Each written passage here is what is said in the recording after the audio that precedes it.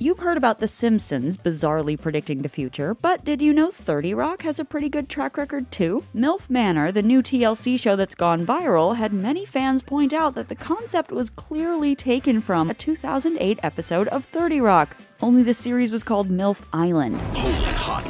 Similarly, an episode may have also invented the former social media app Vine. He pioneered the concept of 10 second internet sitcoms. On the show, NBC gets purchased by Cabletown, which renames the iconic 30 Rock building. In real life, Comcast purchased NBC Universal, renaming it the Comcast building. But maybe the most important of these predictions was the way 30 Rock inadvertently outed known abusers Harvey Weinstein. In some some ways, I'm still pinned under a passed out Harvey Weinstein. And Bill Cosby. Bill Cosby? You got a lot of nerve getting on the phone with me after what you did to my aunt Paulette. And the writers have confirmed that this was no accident.